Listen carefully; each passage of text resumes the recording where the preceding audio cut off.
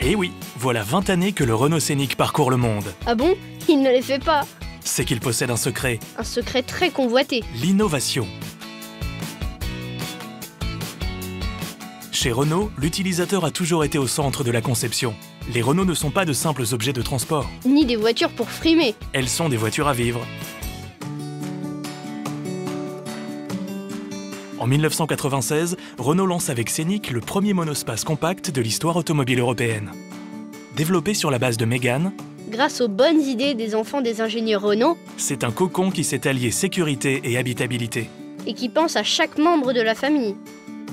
Il possède 5 vrais sièges, de nombreux rangements, Parfois secret. des tablettes repas au dos des sièges avant, Moi, je préfère surtout le double toit ouvrant électrique pour voir le ciel et les nuages. le transport devient voyage. Un tel succès ne peut laisser indifférent Mais Renault ne compte pas se laisser doubler. et frappe un grand coup avec Scénic 2. Les lignes extérieures suivent l'évolution de Mégane et sont plus géométriques, plus affirmées. L'intérieur, quant à lui, conserve un espace accueillant et chaleureux. Et la nouvelle planche de bord est hyper pratique. Il pousse encore plus loin la modularité et la convivialité. Le rangement central coulissant fait son apparition. Le total des rangements intérieurs atteint un volume inédit. C'est même le record de l'époque. Les innovations technologiques ne sont pas en reste avec l'arrivée de la carte main libre. Et du frein de parking automatique. Afin de répondre à tous les besoins, le Scénic 2 se décline désormais en une version courte 5 places et deux versions longues en 5 ou 7 places. Il confirme ainsi son avance et reste la référence du segment. Il devient même la voiture la plus sûre de sa catégorie. Alors, difficile de faire mieux?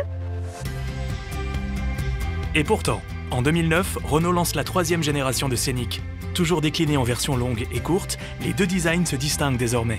Moi, je les reconnais grâce au feu arrière. Cette nouvelle génération met l'accent sur la montée en gamme. Les lignes sont plus douces, plus élégantes. On ajoute des touches de chrome satiné, c'est trop stylé. La vie à bord franchit elle aussi un nouveau seuil avec le rayon au genou le plus grand et le troisième rang le plus généreux du segment. Mais le mieux, c'est l'écran tactile avec plein de fonctions Les moteurs sont plus performants. et plus respectueux de l'environnement. «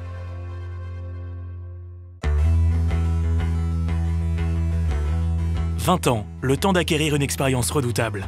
Et c'est tant mieux, parce que le monde change vite et qu'il faut s'adapter. En 2011, Renault dévoile au Salon de Genève son concept Airspace. Airspace amène le monospace compact dans une nouvelle ère qui réconcilie les besoins de la famille avec la sensualité, la fonctionnalité avec la sportivité. Une ère à l'image de la famille, moderne, multiple. Qui veut une voiture belle et pratique. Il réinterprète le concept de voiture à vivre et donnera naissance à la quatrième génération de Scénic qui sera révélée au Salon de Genève Début mars 2016.